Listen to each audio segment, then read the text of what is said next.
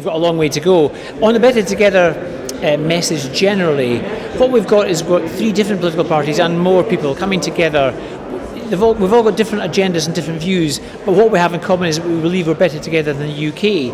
Now that's quite a tricky message to get across, particularly as the question you're being asked, the answer to which is no. Now, what we're trying to do is give people positive reasons for voting no.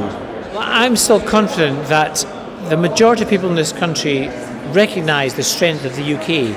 And I think in some ways most the bulk of our job is simply to get information out to people to answer the questions most people want certainty they want answers definitive answers to the questions that are facing them on the 18th of September but I think we can also offer more. We can also talk about how we can change Scotland, how we can transform this country into a progressive, uh, a caring society, a more equal society where we look out for one another, but where you can all prosper, and we can do that within devolution.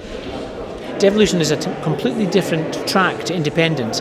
Independence means having less control over our economy, it means having less in common with our neighbours, it means putting up barriers to our neighbours.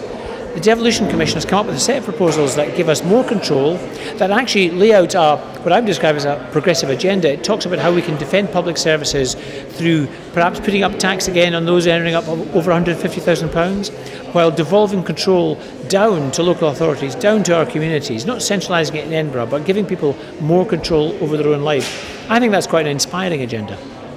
If you want to get rid of Trident, if you want to rid the world of nuclear weapons, which we have big debates about this within the Labour Party, and in fact, I'm pretty sure that currently the last voted on position in the Scottish Labour Party was that we're against Trident.